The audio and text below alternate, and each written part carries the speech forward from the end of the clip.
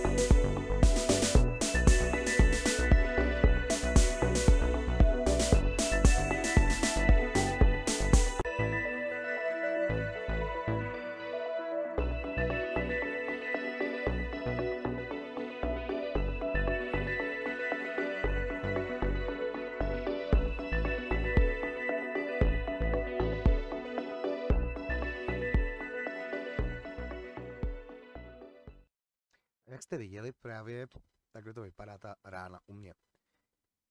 Takhle ta rána vypadá. Je pravda, že ta ruka pálí, bolí, tlačí. E, těma prstama jsem dneska cvičil, ale nějak to jde. Každopádně zítra mi čekají vyndávání stehů té rány. Strašně se těším, jich tam opravdu hodně, jich tam 32 těch, těch stežíků. Takže to bude fakt příjemný, hlavně, že ta rána je hodně citlivá, velmi citlivá. A co zatím je jako je diskomfort, že ten na tom lokti necítím prostě ten nerv. To jsem vám říkal, ten loket je takový jakoby jalový, že ho prostě pořádně necítím. A takhle na bolest je můj, ale jakož třeba se něj šáhnu, tak je takový, jako by byl umrtvený. No a ty prstíky, tak sice s nimi hejbu, ale ty prostě ty dva jsou pořád takový, když, prostě, když je vezmu do ruky ty prstíky, tak prostě sice jsou teplý všechno, to je v pořádku, hlavně, že tam do nich jde krev, ale jsou takový, jako, jako by nebyly moje zatím. Ale to se časem podá a vlastně mě vám dneska přebírá ne takový chmury, ale taková, takový zamyšlení nad tím, jestli se ještě zahrou na varhany a podobně. Takže to je taky to, co mě třeba ne, trá, no, trápí vlastně. No a teď za chvíličku uvidíte tu snídani, to už bude brný jako groteska trošku. Takže uvidíte tu snídani, tu hrstech léků, tam je na srdíčko, na ruku a na ty, na ty navázení těch ner, nervových jak se ty nervy přetínaly, tak na ty nervíky. No a pak se pobavíte zase u toho holení. Přátelé, to holení je taky hrozná věc.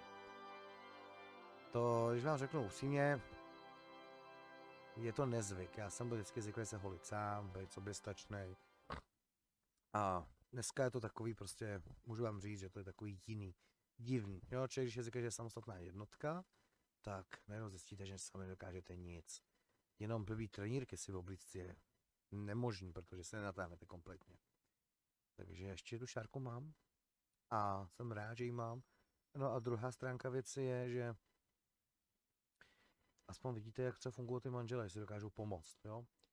A ta druhá stránka té věci, jak jsem říkal, tak to člověk musí brát eh, pozitivně, že se to bude zlepšovat. I když tomu dávají pár procent, že to bude úplně eh, ažur, ale já tím nepřemýšlím, prostě i když je tam víc procent záporných, tak se snažím přemýšlet na to, že ten zápor dělá plus, protože, jak znal z matematiky, minus minus dává plus. Takže dnešek takhle uzavřu. Nezlobte se na mě, že to video je takový chučí. Dneska není ani zamyšlení teologický, protože jsem dneska rád, že jsem dneska rád. A jsem jako po těžkém flámu. Já jsem dneska mi volal bráška Didák z Brna, tím ho chci taky pozdravit, ahoj Didi. A mi říkal, jak mi je, já mu říkám, je o 5% líp, než jsem byl, vyšel z toho sálu. Ale říkám mu, jak potřeboval, jako má auto, auto nabíječku, tak na ty prsty dát auto nabíječku a zapnout, tak to si dostal brr, pořádnou prdu a nahodil tu autobaterii, protože ta autobaterie je strašně veslabená. I když prostě mám nutri drinky a to je taky strašně, to je taky, to je taky prda na kasu. Nutri drinky a to musíte to převazovat a taky, jo, šáka furt do mě nějaký tvarohy a vajíčka a maso a ovoce, tak já zase nemám chuť k jídlu, jo. Takže taková kombinace, ten to tělo moc velký hlad nemá, ale to teď se s tím nebudeme zatěžovat. Přátelé, neberte to jako žádnou stížnost. Teď se podívejte na to, proto se ten skoro nemám, protože taková vydatná snídaně hned po ránu, to je taky úžasná.